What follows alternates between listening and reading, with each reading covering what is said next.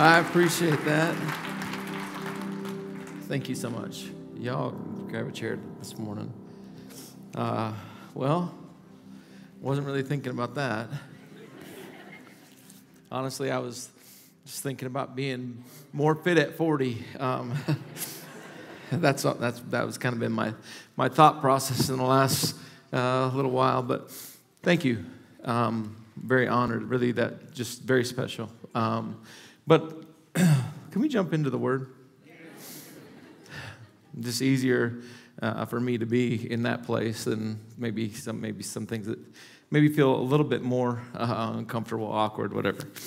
Um, but really, I believe that even what was just those things that were done right there was really along the lines of the same message today, and uh, that is about relational, being relational.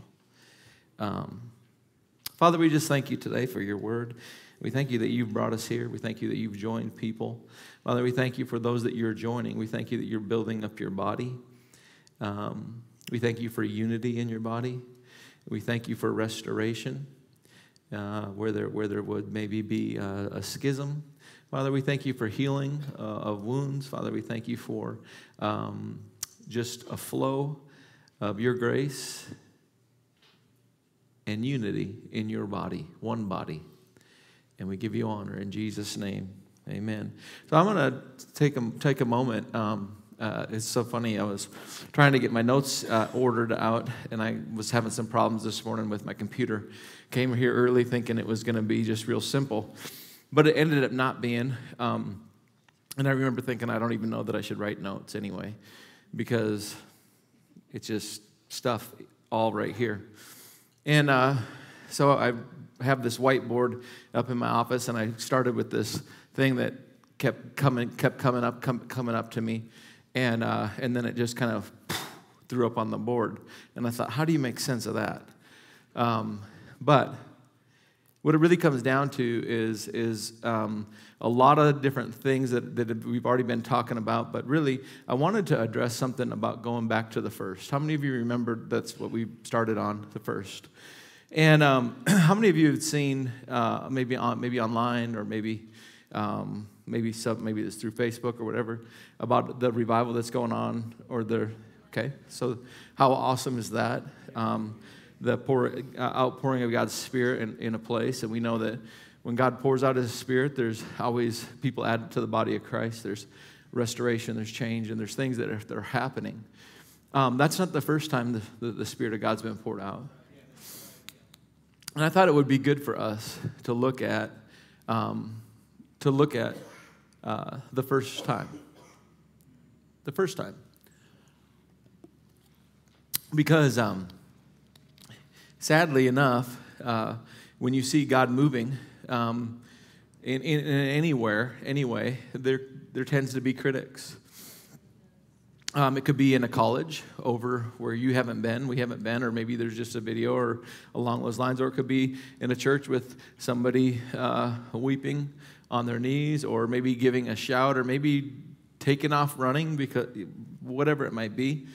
Um, and you could chalk that up as emotionalism. You could chalk it up as whatever you decide to chalk it up as, um, and stand in that place of critique and. Uh, and it's not really it, it, and, and not only that it, that's not what we're supposed to be doing there's supposed to be unity in the body one body and uh, god's coming back for a glorious church not that church and this church and this church and that church but the church because it says in ephesians there's one body there's one lord there's one savior there's one faith there's one somebody say one kind of sounds like first doesn't it so there's one. And, um, and so I wanted to follow up really. Uh, I was thinking, how could I follow up in, in this, this, this series of, that I've been doing at first? And really, it really made sense to me. Um, last week we talked about schedule me a wake up call. You make that call before you go to bed, schedule me a wake up call. Um, and we talked about how uh, you, you, you, you're intentional to not, uh, to, to, to not trade what you want um, most for what you want now. And we were, we were just, we, and so I'd encourage you to go back and just listen. But uh, I'll tell you what, it's just so important that we, that we set the alarms in our life so that we are doing what we, we really want. It's so easy. We looked at, don't get so caught up in the day to day. We looked in the message, I think it was Romans, uh, maybe 12 or Romans 8, can't remember. Um, but where he says, don't get so caught up in the day, you know, everything that's going on in this world that you forget about what God's doing, right? Um, be up and alert and active, right? Because uh, God is putting on his finishing touches. Uh, I thought it was interesting uh, this morning. Wasn't on my notes on my board, but I found myself talking uh, or, or, or, really um, looking at 1 Peter chapter 4, uh, where it talks about each one of you has been given a gift. Um, but I, I, you know, it's always nice to read in context. Uh, and, and I, am going to read that. I, I, put it on the bottom of my notes. I think it's on the very bottom, actually. My notes, yeah, First Peter chapter four, and I thought it was interesting as I went up because really what I was talking about is verse ten, but verse seven it says, "The end of all things is near." Thought that was interesting. That it just seemed like that kind of jumped off the page to me a little bit. Um, and we know that that this is, uh, this is what, when the first time the, uh, the outpouring of the Spirit of God, uh, we see in Acts chapter 2, when Jesus told the disciples, right? His disciples, not just his 12, right? Or 11 at that time, you know, and one replaced them. Um, but, but 500 or so and 120 were in upper room. This is Acts chapter 1 and 2. Uh, and Jesus said, Hey, wait here, Acts chapter 1, verse 8, you'll receive power to be a witness a witness is to testify, and we've been talking about that about how iron sharpens iron. One man sharpens another. There's a testimony that we're to be given, you know, to one another. Uh, even I don't know what Joe's uh, Joe Costello is going to be talking about at Frontline, but it's the, it said the things unsaid. I thought, hmm, I wonder some things need to be said on some things, and we leave them unsaid. There's so many places we could go, but I wanted to just go back to um, the first, the first time we see the the outpouring of the Spirit of God, because um, when things are going on, um, you can desire uh, and wish that you could have that. You could uh, be jealous. You could be. There's so many different things that you could. You see people maybe, uh, you know, wh- whatever it might be. And as a pastor, you know, uh, leading uh, part of the body of Christ, uh, the church, or a piece, or shepherding a flock, rather, um, you say, Lord, is there anything I'm supposed to be doing here? So. Um, but the thing about it is, is that's the outpouring of the Spirit, right? So, um, and he said, yeah, go back to the first. And so I found myself looking in that place. And uh, how many of you know in today's day and age, um, we don't like to go back to the first. We like to evolve to the, the better. Okay? And uh, even so, like in Revelation, John wrote to the church at Ephesus and he said, uh, Do again do again the things you once did when you first fell in love. So he didn't say, I want you to I want you to go get these and do this and do that and do this. I know you've never done this before, but I'm going to show you how to love Christ for the first time ever. He said, No, go back and do the things you once did. How many of you know that, that the things you once did, there are some things that were once done, or let me say this, there are some originals that need to become the new norm or come back, you know, throwback, you know, like the throwback. How many of you know it seems like things are coming back in? They're coming. I mean, shoot, there's bell bottoms right there on the front row, right there. That was the Lord. But things are coming back around. I'm just telling you, things are coming back around. Some, some, some, some truths, some foundational things that have been set in place from the very, very, very, very beginning.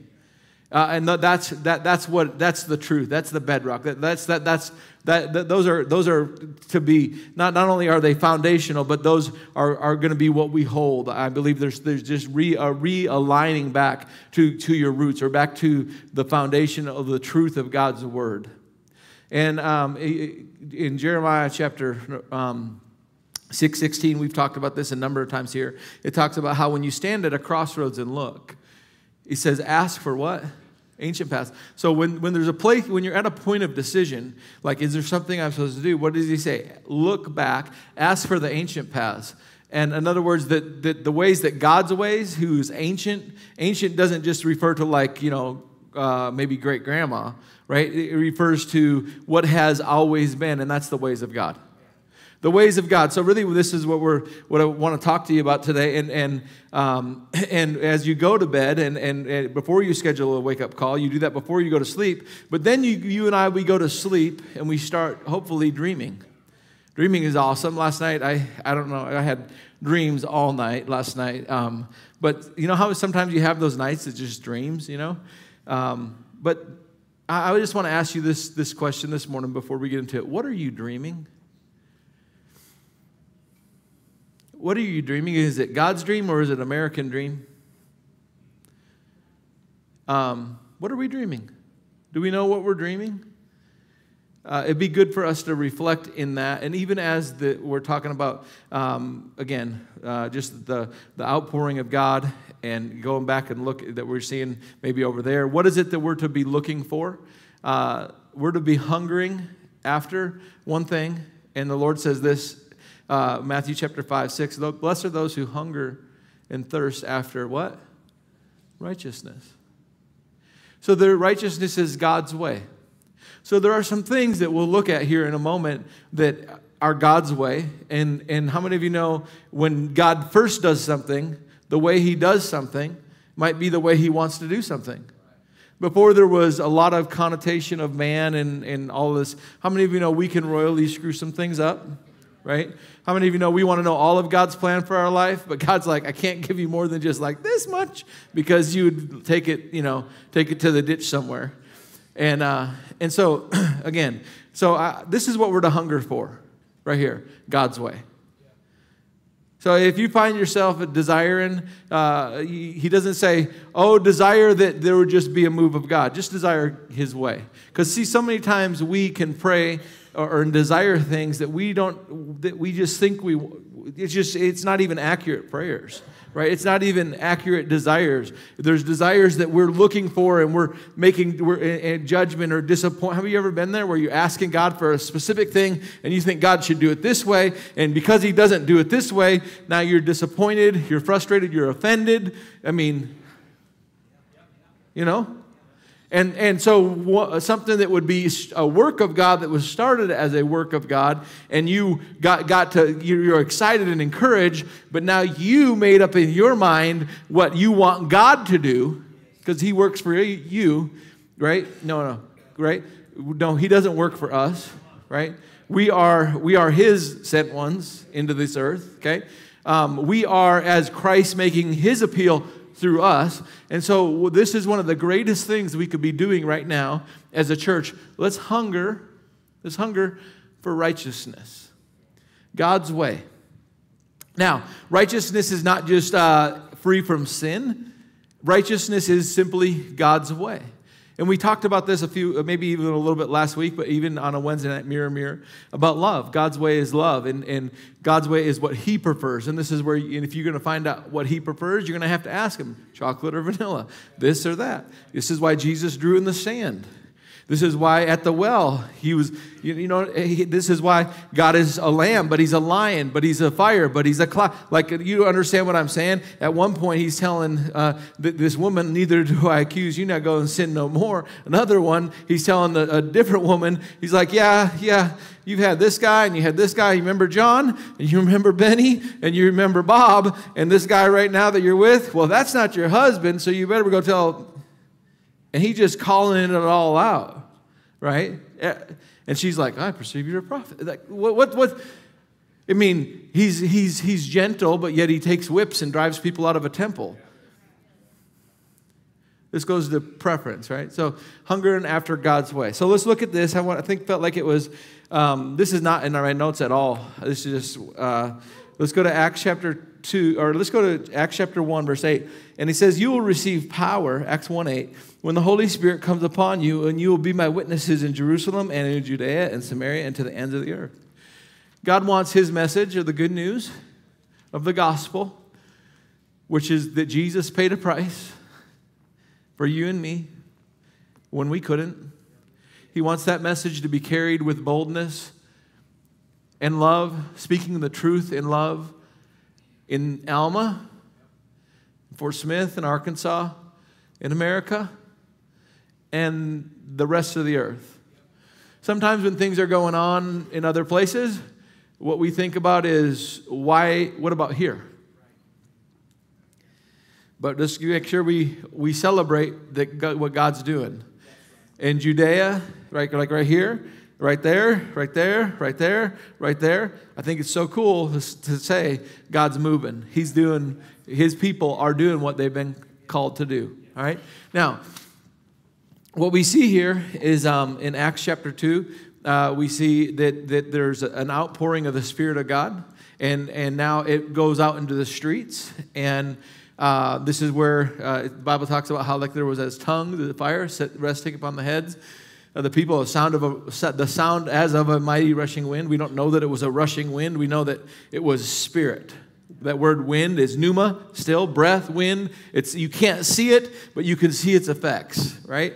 Isn't that so cool? You can't see the Holy Spirit, but you sure can see his effects when the Comforter is near and, and you and I are yielded to and you in, in, in administering gifts of the Spirit. You, you can see the effects of him working, right?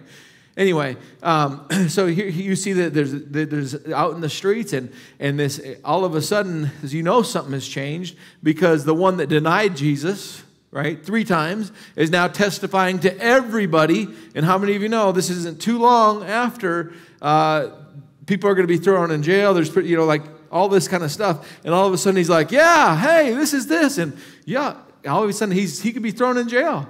But he's not thinking that at all. There's a power or a strength to be a witness, right?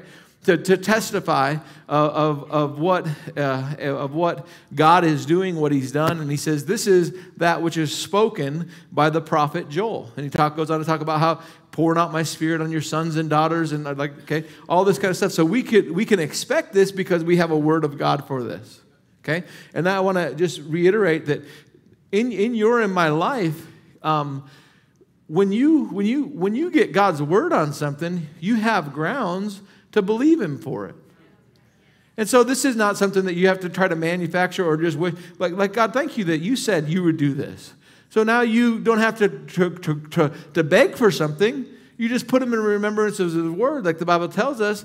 Put, just put them in, in and, and also yourself in remembrance of that. He's, he's one that keeps His word too.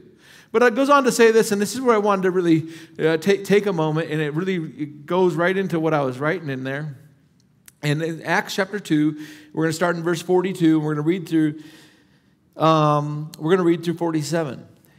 And it says, they devoted themselves uh, to the apostle. Okay, so this is after uh, they're out in the streets, and, and Peter gives this message, and many people are saved. All of a sudden, because that's what happens when the Spirit of God gets poured out. See, uh, the move of God always brings about the work, the work of God, and this is what we're going to be talking about today. That is the building up of the body of Christ. This is what God is working on in this earth, and that is the building of the body of Christ. God's not busy working on giving people goosebumps.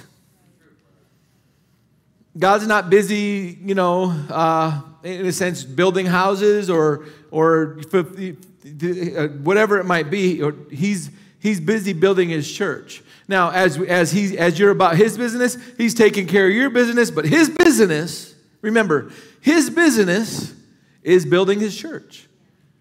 That's God's business. And if you, as you take care of his business, he'll take care of your business, but let's be about what his business is, and that's building the church. So now let's see here what happens when the Spirit of God is pour, pour, uh, poured out. It says they devoted themselves to the, this is Acts 2.42, to the apostles' teaching and to the fellowship, to the breaking of bread and to prayer. We jumped over a word there that we often miss. And it was at the very beginning. They devoted themselves to the apostles' teaching and to the fellowship and to the breaking of bread and to prayer. I want to talk today on fellowship the dream of what are you dreaming again? I want us, I want us to dream of fellowship. Fellowship. This word fellowship, koinonia, this word fellowship, a common unity. They, they, they came under, they came under, they're hearing, teaching, they're growing, but there is a common cause that all of them are, are coming together for. There's a common cause, and you and I, there's a common cause.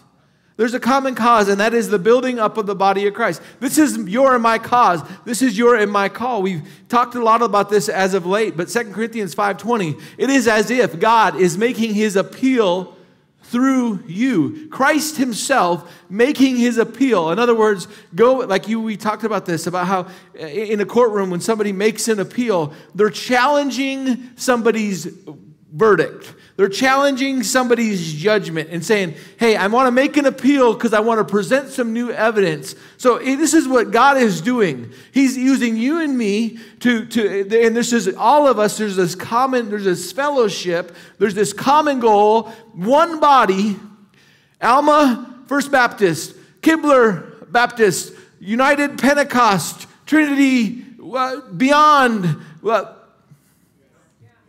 now, can we get mixed up on some things and, and have divisions? Yes, and that's not what God wants. He wants us to be about the, his, building up his body. Now, er, now, now, and, and, it's okay if the finger's the finger and the toe's the toe, because that's what we're supposed to be. We're not, there's not uniformity, but there is to be unity and that is the building up of the body. So you and I have this opportunity, and every person eh, has been set here on this earth with his call, and he's giving gifts. We'll see this here in a moment that God gave you and me gifts. In Ephesians chapter 4, he gave gifts to men. He gave gifts to you and me. He gave you and me, it, was, it, says grace or gifts or charisma or charis is what it is, but it's where we get the word charisma in the English. But He gave you and me gifts for what? For the building up of the body. You have a gift to bring or to, to build, to assimilate and build up one body his body and to bring to bring us all into that into a place not only of unity but it would be as if even that unity is causing other people to be able to see something. You're making an appeal to where they're making a different call. All right let's keep going here. So or not ephesians but let's go. Acts chapter 2 42 he said they devoted themselves to the apostles teaching and to the fellowship there's a fellowship. There's, there's, there's something you and I are to be about. You know, I think about that. Reach one. Reach one with what? Reach, reach one with the love of God today. Reach one. Reach, this, this fellowship. What are, you, what, are you, what, what are we doing? What, what are we doing? What are we? I've heard people say this. As, as a, a, sitting, I've heard this come back to me. What are we doing as a church? Well, hopefully, we're reaching. Hopefully. What are we doing? To fellowship, to the breaking of bread, and to prayer. I just wanted to speak this morning on fellowship. That's it. Go with me, if you will, to, um, oh, oh, this is so good. Because fellowship uh, takes, it takes you and me being about what God's about, not just what we're about. How many of you know it's easy for us to, uh, we, we did a message uh, years ago along these lines, but it's easy to exchange fellowship for cruise ship. It really is super easy to just make that exchange because fellowship is about is, is understanding that there's, the, there's there's something when I come into same proximity, just like we talked about, as iron sharpens iron. When I come into fellowship, when I come to when I come together, um, we're, we're, there's going to be things that are going to be going on. Uh, we might rub on each other a little bit.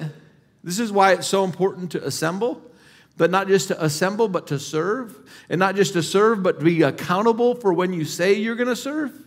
Because this right here is where we get to practice for out there. because uh, Jesus doesn't need advertising, it's his body that needs a better name. Everyone loves Jesus, but his body, eh, not so much.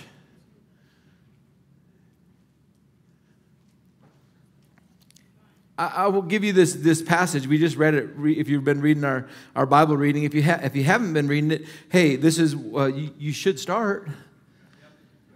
You know, because it's one way that you can be accountable. You know, it's, it's one way that you can be accountable. And I know in this American dream, again, what are you dreaming? The American dream is I want to I wanna make enough money so I can do whatever I want. I'm dreaming that I don't have to be accountable. I'm not accountable at a job. I'm not accountable to no one. Nobody can tell me what to do. I can do whatever, whenever, however, wherever I want. That's fundamentally opposed, if you think about the American dream, that's fundamentally opposed to take up your cross and follow me. Think about that.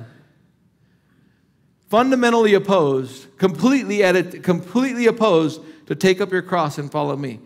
American dream. I want to get to where I could. No, no one can tell me what to do. We're seeing this, and I was listening to a message um, uh, by, by, by, Craig Groeschel's leadership podcast, and there's a, a, a, gentleman I can't say his name that well, uh, Lencioni, but he talks about five dysfunctions of a team. Anyway, there were there was a little small talk section where they said, "Oh, hey, buddy, hi, hi," you know, the beginning part. But there was this little piece in there that just my ears perked up, and it had to do with the workforce.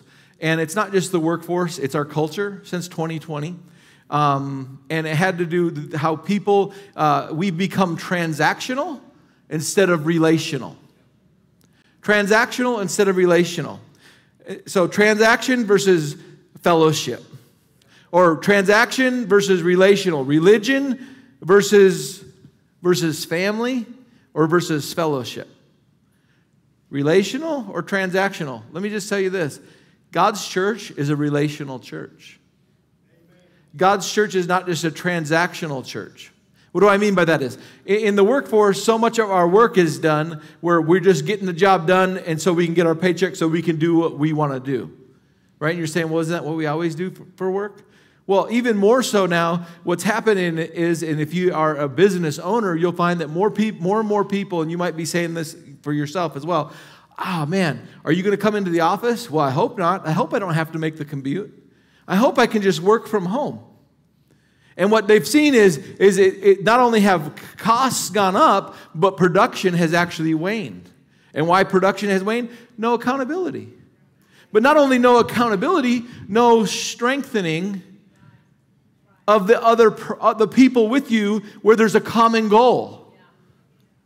And so the, the reality is it's, it's, the, it's the enemy at work. Isolate and destroy. Isolate and destroy. They're seeing the companies are, are, are, are beginning to atrophy because of the isolation and because, because of the separation, right? These, and so there's disconnect and there's not a same goal, a common cause. And so there's all this about recasting vision and redoing this and re energizing. We need to have people come back into the office. They're like, we need to go to work again.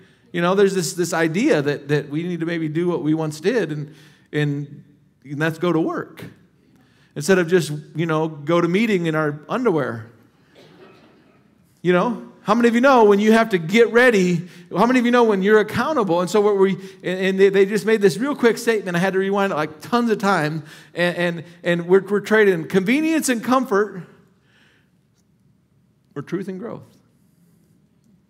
And I was like, Right there. That was it.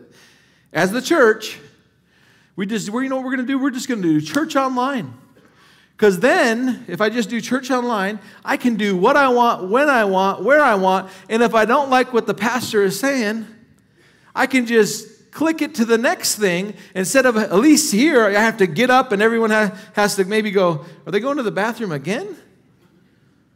You know, there has, there, there's this decision that you and I have to make to consciously uh, really ignore what's going on when you're, when you're here, when you come together. But not only that, you have to see some people, like maybe your ex wife.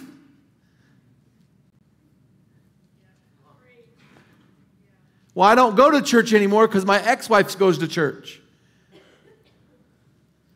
What? Or a friend, maybe not, maybe not ex-wife, but like ex-friend, you know, the one that talked bad about me or that told me the truth or whatever. And, I, and that's why I don't go to church. I don't go to church because because I'm going to have to learn to do what?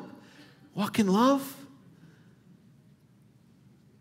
So, so what's happening is I, I'm exchanging convenience and comfort for truth and growth, and I would actually have to face myself. Because like wherever I am, there I am. That's what's crazy. And, and, and so, like at home, there's a culture that I create for myself, and it's great until somebody else comes in it. And then I realize it's not so great. And is it because they're in it, or is it because I'm in it? And so I'm trading convenience and comfort, good things, bowl of beans, for a birthright. Truth and growth. Truth and being built up. God want He's building His church. He, but it is as if Christ Himself is making His appeal through us. Christ Himself is making His appeal, but I can't even be patient because I don't practice it. This is practice. We're, we're working on layups today. Oh, come on, La Fiesta's waiting. El Trio, 50, 50 minutes, patience. Man, I would exercise patience today, 51 minutes. You have opportunity to work on patience. You have an opportunity to work. The fruits of the Spirit are able to grow because you are with other people. And you and I have, have the opportunity. Listen, it's impossible that offenses won't come. But at least you know I'm under the lordship of Christ. You're under the lordship of Christ. I'm upset with you. You're upset with me. You said this. They said that. We said this. Okay. What does the Bible say? Go to that person. Hey, listen, this went on and ah, I, I want this right. So we learn, we're practicing, we're, we're the same Lord, we're getting the same direction, and all of a sudden there's, there's a unity, but not just a unity, there's a strengthening. So there's truth and growth. There's truth and growth when we assemble. When there's a fellowship, a common cause, what happened was when the Spirit of God was poured out, they came together, they, they, they were listening, but there was a fellowship, and then there was breaking of bread, which is talking about the communion and eating together. The, the, the, the body of Christ, right? Okay, thank you, Lord. And so he goes on and says, and a sense of awe came over everyone. A sense of, wow, what is this? Well, it's unity, community. Did I say unity? Community. Fellowship, community. And that's why, even what was going on this morning, the celebration of somebody else. See, celebrating myself by myself is just not so great. I don't think I've ever been moved to tears just celebrating myself by myself. like, when I shoot a big buck, which happens very often, ask Lance Becker. When I shoot a big buck, it's great. Maybe sometimes too many big bucks. It's happened before on accident. But I, I, my, my celebration is the fact that I get to share it with somebody. I get to post or I get to text BBD. Big. That's right. And hopefully a picture will be coming right after. There's something about that being celebrating with one another. And let's keep on reading here. It says, The sense of awe came over everyone, and the apostles performed many signs and wonders. Isn't that interesting? Isn't that interesting? And so I want to go to Mark chapter 4, and, and I'm going to uh, give you just, or Mark chapter 6, rather, and I'm going to give you a couple of just uh, uh, brain thoughts of a couple messages, okay? Or a couple uh, scriptures. When the woman uh, needed to, um, she was about to die, you know, her and her son, and here comes Elijah, and he's they're, they're about their last cake, last meal, last whatever. And the man of God says, Hey, but make me one first, right? So, again, first. We're going to look here at Jesus telling his disciples to do something first.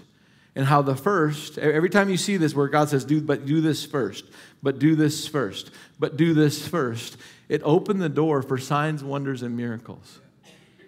Now, in Mark chapter 6, 30 through 37, it says, Meanwhile, the apostles gathered around Jesus and brought him the news of all that had happened. This is right after John the Baptist had been beheaded. Uh, this account is, is spoken of in multiple gospels, okay? Um, but he says the apostles gathered around Jesus and brought him news of all they had done and taught. Jesus, before this, not only did John the Baptist get beheaded, but he had sent his disciples out with power and authority. And so they went about and they, they, they come back to Jesus and they're coming back to tell him all that had been done. So they come back and all they had done and taught, and he said to them, Come away with me privately to a solitary, uh, solitary place and let us rest for a while, for many people were coming and going so much that they couldn't even take time to eat. So it was super busy. So they're come back together. There's all, all, kinds of chaos. John has been beheaded just recently. Like, and, and actually, one of the one of the accounts of this is that Jesus got in the boat and to go to the other side, to go to a solid, a, a quiet place. Kind of like when Lazarus passed away, Jesus wept. Like Jesus was touched with emotion and feeling just like us. John, that was his cousin, and, and he just has been beheaded. What a gut punch of just. Oh, and yet, here come the disciples telling of all that had just been done and all that. And it's just kind of like, wow. Like, I just, this just, hey, I, we can't even talk right now. And, and you guys, we, we just need to go get away for a, a minute. And he says, For many people were coming going, they not so much eat. Verse 32. So they went away in a boat by themselves to a solitary place, but many people saw them leaving and recognized them. And so they ran together on foot around the lake, around the Sea of Galilee. How many of you know that's gonna that's that's some hunger, right?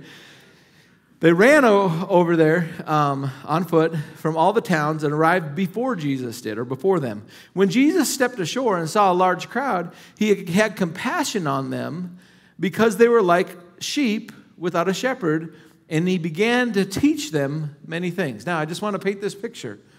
Hey, guys, let's go go get on the boat, go get on the cruise ship. We're going to take a vacay. Okay? We need a little time away. Things have been busy. You've been doing ministry. You've been doing, and you've been doing some really good things. You've taught some good. I know you've been gone and you didn't even provide for yourself a staff or all these kind of things. And so you've been at it, you know. There's been hungry times, there's been hard times, there's been good things. But man, we come back and we're just, we're spent and we're busy and we're so spent that we don't even have time to eat. We just need to get away and, you know, so hop on the cruise ship, go to the other side. And when Jesus gets to the other side, uh, the solitary place wasn't very solitary, there was a crowd. Now, can you imagine? I just want you to put yourself into this place. What, what, what the disciples must have been thinking and saying, hey, we're going to go alone to be with Jesus. We're going to go alone and we're going to get a little less work here. I can get a break, right? I just need a break. I just need a break. I just need a break, okay? Um, and, all of a sudden, Jesus is teaching. Peter, like, John, he loves you. Go talk to Jesus. You know, uh, you know, you can tell him things that nobody else can tell him. It's kind of like my family, when, when Samuel or Matthew want something, they say, Hey, Caleb, go ask mom and dad. hey, John, go talk to Jesus and say, What are we doing here and how long is this going to be? We're supposed to be going down the water slide and, you know. But Jesus, but Jesus, all of a sudden, Jesus comes to that place and he sees the, pe- the people. He sees the people. He sees the people. His eyes no longer are upon what's been going on himself in on himself. He sees other people. And what happens is without a shepherd he began to teach them many things. But now uh, the hour was late. So the disciples came to jesus and they told him what to do. This is a desolate place. The hour is already late. Jesus can you tell the people to go home jesus? Can you, you know you're in a bad place when you're telling jesus what to do. Jesus um, hey, go tell him. And so you can see John up there you know, and all the disciples behind them because the disciples, and get him, John, tell him, tell him. Mm. Oh, yeah, yeah. Hey, Jesus, uh, we were wondering if you could just send the people away to go uh, get them something to eat, you know, so we can, you know, relax, you know. We were supposed to, you know, we kind of already missed our opportunity here, but, you know, it's getting late, you know. Now, I mean, this is what's happening here. They're not happy with Jesus. And Jesus says this uh, send them away. They said, send them away so they can go to the surrounding countryside and villages so they can buy themselves something to eat. And again, the American dream is about what? Yourself. And Jesus told them, this is where I want to end you give them something to eat. This is the what he told them first. Give them something to eat. And they said, We don't have, we have five loaves. He said, Then bring that to me. And, and then I'll pass it out and you can give them something to eat. What happened is, is when, when, when eyes got off of everything else, but it was like, I'm to I'm gonna serve that person, it opened the door for miracles. This is what this is how how miracles happen. This is actually what uh, I wanted to get to in this series that we started la- last year at the end called gifts as we were coming into Christmas. And the gifts he says that he doesn't want us ignorant about spiritual gifts. You know how the gifts of the spirit are brought into operation? A simple word that we use all the time, thoughtfulness. Thoughtfulness. Lord, What are you saying today? And you just walk through a, through a, a time, walk through uh, like a, a crowd. You walk through and you just say, Lord, what are you saying? Who do you want to touch? Who do you want to restore? Like you just ask, asking the Lord, how can I be a blessing? And this is the thing. So many times we're trying to tap something that is not our gift, but God has given you gifts. Ephesians chapter 4. If you'll put it up there, I'm not going to go back to my notes, but Ephesians chapter 4, starting in verse maybe like 7. Maybe it's, maybe it's up a little higher than that. Uh, we'll give, we'll, um, he talks about how he's given us a gift. So here's the deal He's given you a gift. So use your gift. Don't use Pastor Nate's gift. Don't use Ben's gift. Don't use Ev's gift. Use your gift. Use your gift. And that word gift is, is the word grace. Oops, that was my phone. That's all right. Cases work. Look at here. Thank you, Lord. Ephesians 4. Ephesians 4. Um, verse 7. So, to each one of us, grace has been given as Christ apportioned it. So, you have a gift you have a grace. You have a gift that God wants to use to do what? To build up his body. So, how do I, how do I tap the, those things? I, I think, how can I, knowing the grace that's been given to me, this is why it's so important for you to identify and say what God is, says about you. You use that gift, you use that grace, and that grace is engaged or that grace is activated, that gift from Christ Himself becomes activated when you and I simply think about being thoughtful. Some of you, you, you, you could, you, you, the gift of prophecy, which the Bible tells us in, in 1 Corinthians chapter uh, 12 and not verse 13, or 1 Corinthians 12 before the love chapter, that he tells us to desire that we would prophesy. He tells us that. But you know, you know, some of you, it just takes you opening your mouth to say what God, and this is prophecy right here, ready? Saying what God says saying what God says. Did you know you could prophesy to somebody to, something comes up in your heart concerning uh, just a scripture? Yeah, I just wanted to come and tell you that God's causing all things to work together for good, for your good. Like you had that scripture pop up and you're like, Lord, I got that scripture. Am I supposed to share that with somebody today? Yeah, I'll show you who. Okay, cool. And now I can say what God says. And, and I don't have to, and I just, God, God wanted me to tell you this today. I'm telling you, oh, I, I wish I wouldn't have took a, a left turn there, maybe because because of just where I was trying trying to go. But I'm telling you, it's time that we start thinking about others. We start saying, saying instead of thinking about myself, I start thinking about others and this fellowship and this common unity where God is working to build up his body. He's working Ephesians chapter 2. Let me let me just go through a couple of things uh, today so to where you can see that God introduces the body of Christ. Verses 11, Ephesians 2:11. Remember that formerly you were Gentiles, you and I. We were in this place uh, as Gentiles. We weren't Jews. We had no covenant with God. There was no hope for us okay? So we weren't even God's people, but we were Gentiles in the flesh called uncircumcised or no covenant.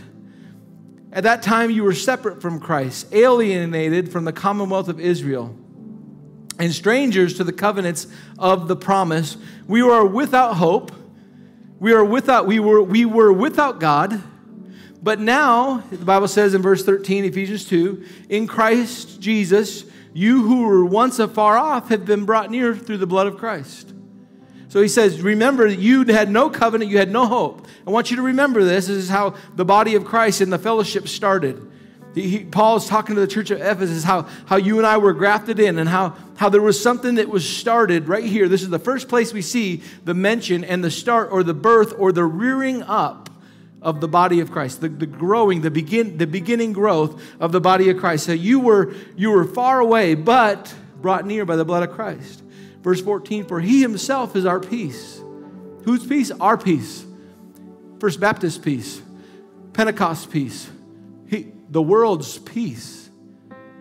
Those without covenant, Jesus Christ is our peace. There's a message, and there we're again hungering after righteousness, God's way, which is building up his body, what he's about.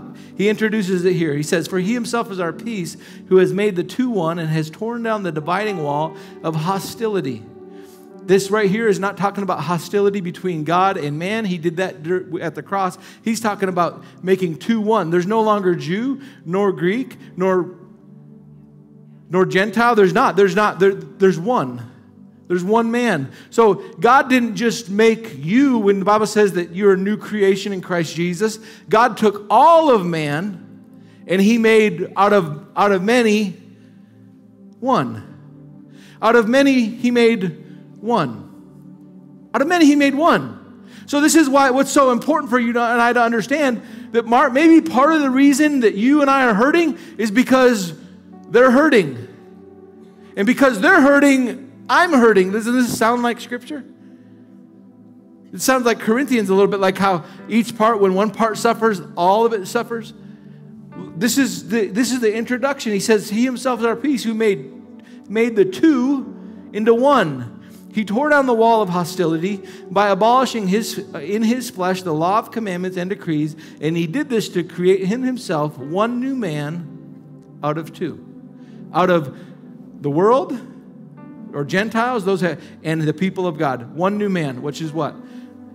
Thus making peace and reconciling both of them to God in one body through the cross, by which he extinguished their hostility. He came and preached peace to you who, far, who were far away, and peace to those who were near. For through him we both have access to the Father by one Spirit.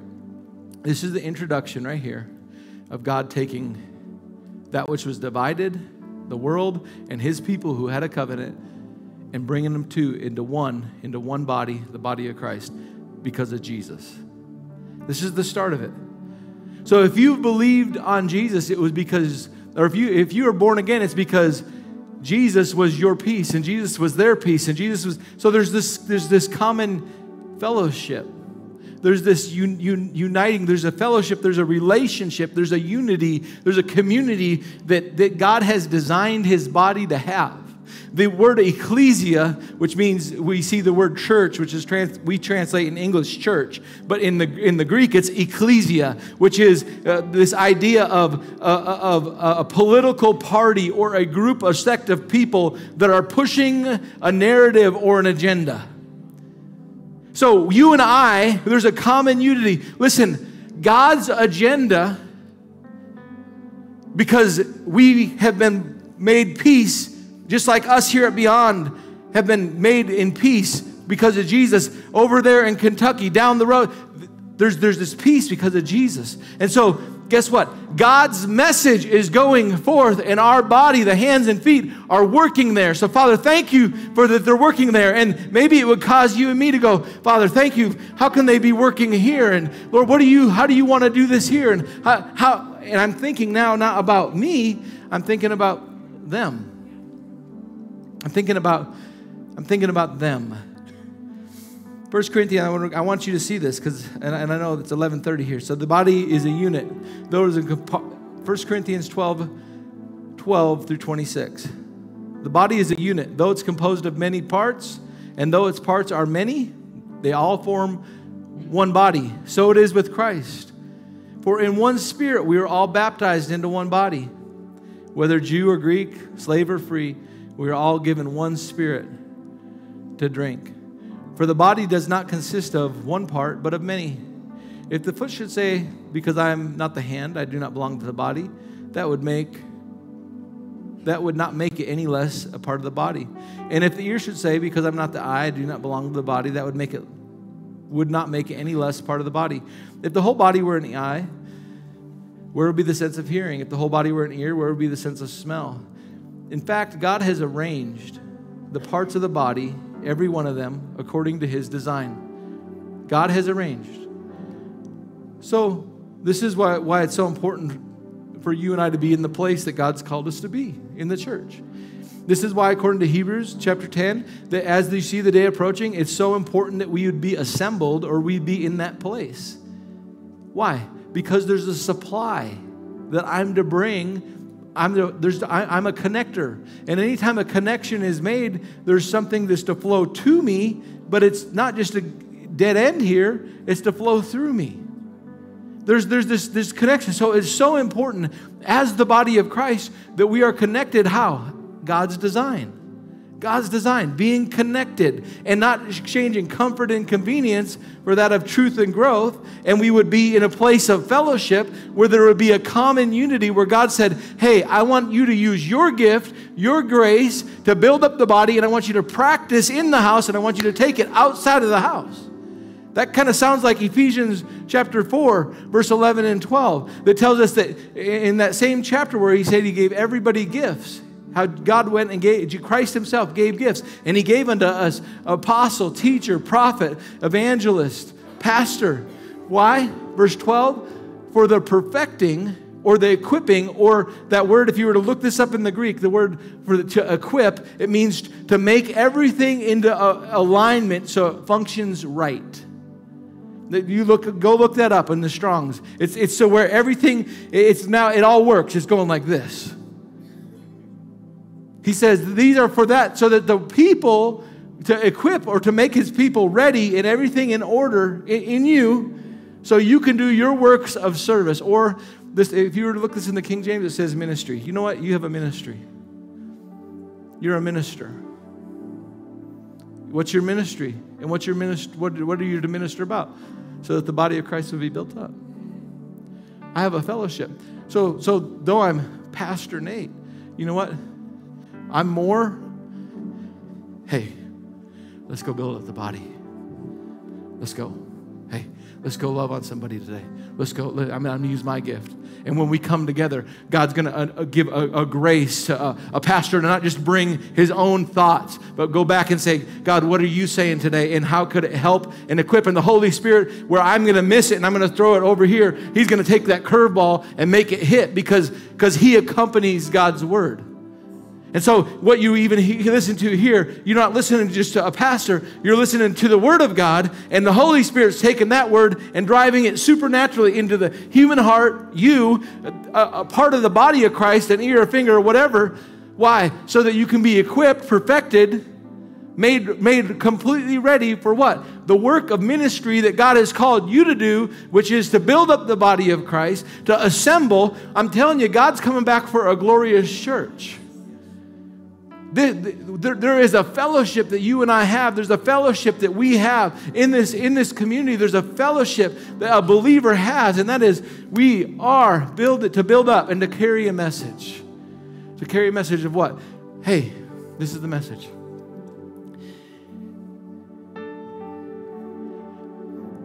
You were once far off. Maybe you're far off now. But Jesus, God loved you so much that he sent his son Jesus to, to make a way where you couldn't. This is the message that we carry the good news of the gospel. Jesus paid the price for me, for you. He loves you. And I, and I begin to think that that way. And he says, if you just would just surrender to his, to his love and his lordship, you, you too, we could go and we could, we could, you could come and hook up and there'd be a flow. And it's not just me to pray a prayer for you, with you, but to really, it's not just, it's the assimilation. God, God, God's all about assimilating. This is why it's so important. We are a relational church. His church is a relational church. There's, there's not just a transaction. Yep, Sunday morning check did my did my deal here you know what we're to do it starts at what time well worship usually doesn't start doesn't uh, we'll just come in we'll get there about 1045 because then pastor nate will be about starting his done with his review and we'll catch this part and we can get out because we got this at this time. And I'm not ta- tagging you. If I'm not tagging you if you came and ran late. This is not about that. I'm talking to the church here. That that there is something about coming and saying, "I got something to bring to somebody today." I have I have something to bring to somebody today. Lord, show me how to be.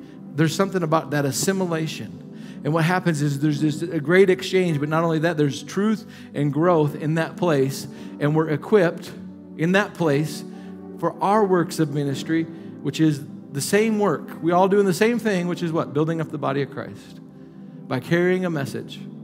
So, what am I dreaming about? I've been, I've, we've been talking about this. Uh, me and my, me and Ev have been talking about this a lot lately, as a, as a church. What are we dreaming about? What am I dreaming about? Lord, what's your dreams for Beyond Church? What are you, what are you saying? And it keeps coming back down to simply, is simply this building up the body, assimilate the body, Rela- re- relationally, not just, but just, just bringing people into their place. The, the, the call of God on people's lives, destinies. Why you know, do you know why you were here? Thank you, Lord. Thank you, Lord. Let's, let's stand. Thank you, Lord.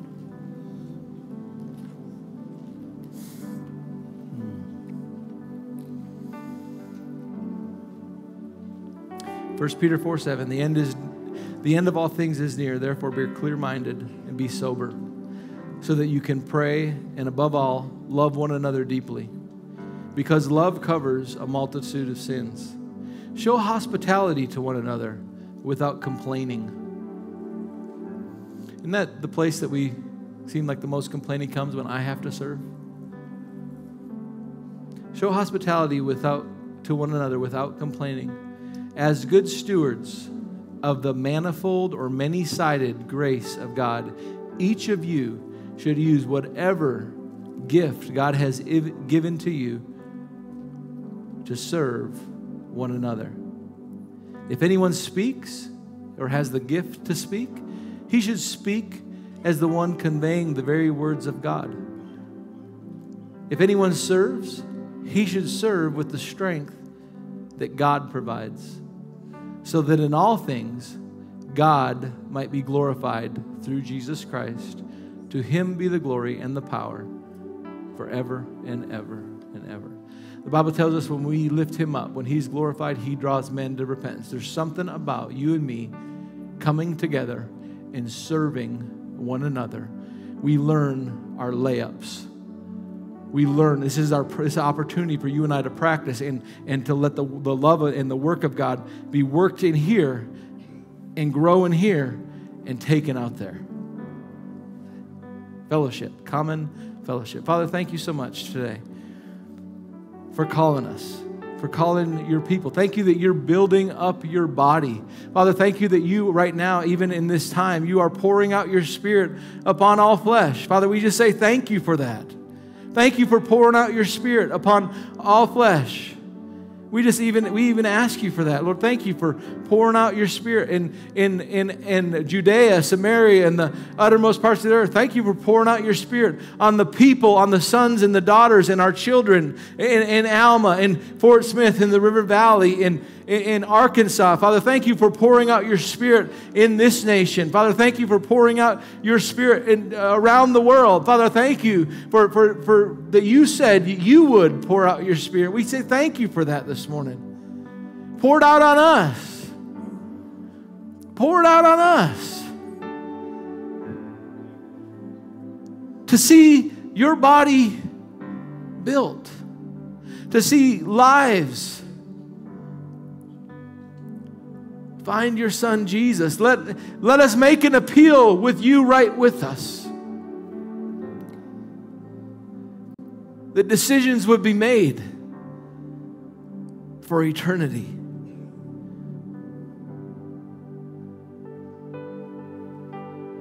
Pour out your spirit upon us, Lord. You said that these signs would follow those that believe, that they would, they would lay hands on the sick and they would recover. You said that they would uh, cast out demons, they would cast out oppre- the, that which is oppressive. Father, thank you. You have many hands in this place. Holy Spirit, you be our teacher. Teach us what we haven't been taught before. That there's not a formula, but just a yielding, a coming under, an acknowledging that we're your children and we can be led by your Spirit. We are led by you.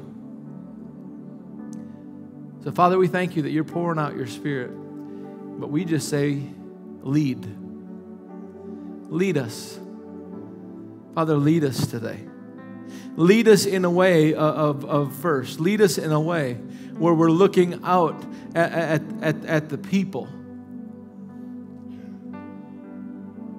And Father, I thank you for signs and wonders and all of those things following.